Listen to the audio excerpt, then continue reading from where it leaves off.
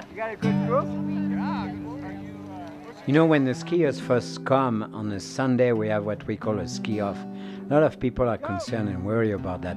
We try to make it as friendly as possible. In the old days, the ski week structure was uh, in many areas. It was in the East Coast, very powerful. Uh, it was in Squaw Valley, but in Taos, it was it was wasn't just a social thing. It was a necessity uh, because you couldn't get it in a day. You couldn't get it in a two-hour piece, and they were also wise enough to keep the ski uh, week program a two-hour program so that people would get some really intense work, and then in the afternoon they could ski with their families, or if the instructors had some time off, they'd take runs with them.